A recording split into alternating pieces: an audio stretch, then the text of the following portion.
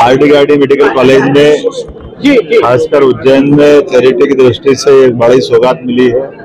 Cancer unit का शुभारंभ होना ये निश्चित रूप से खासकर ऐसी बीमारी में जो इसका लाइलाज बीमारी है उस बीमारी पर समय रहते अगर इलाज करा लो तो उसमें भी अच्छे हो सकते हैं।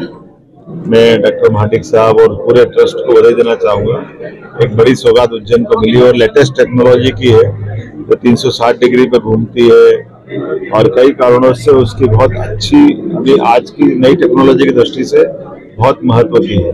मैं अपनी ओर से बधाई देना चाहूँगा और ये पूरा संस्थान और आगे करे, आगे बढ़े, मानव सेवा करे। और धन्यवाद।